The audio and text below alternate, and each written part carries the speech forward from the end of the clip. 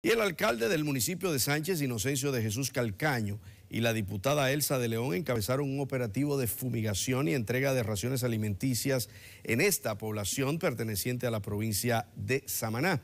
Federico Rután con más detalles. El funcionario municipal narró que durante el operativo encabezado por la diputada Elsa de León de esta provincia, él mismo supervisó el área del viejo mercado municipal que durante años se ha estado denunciando su deterioro a través de CDN, informando que en los próximos meses estará realizando el levantamiento para su remodelación.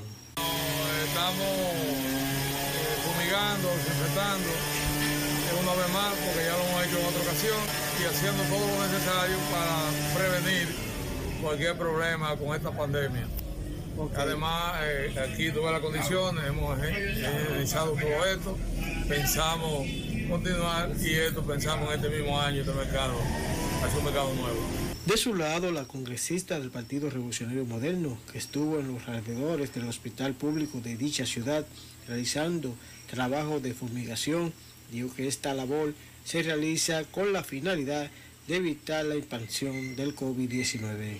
Mira, es, nosotros estamos contribuyendo con lo que es tratando de evitar la propagación del virus y lo que podemos hacer lo vamos a hacer todos en conjunto, en este caso apoyando a nuestro alcalde. Mientras que la vicealcaldesa Sugeli Sandoval de la Cruz hizo entrega de raciones alimenticias a empleados del Cabildo por instrucciones del nuevo alcalde elector.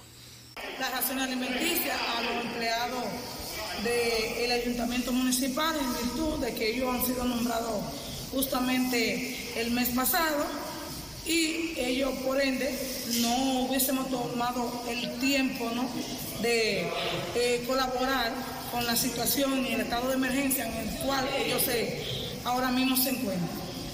El referido operativo se realizó en los lugares donde se frecuentan personas, tales como centros comerciales, bancos, parques y centros de asistencias médicas.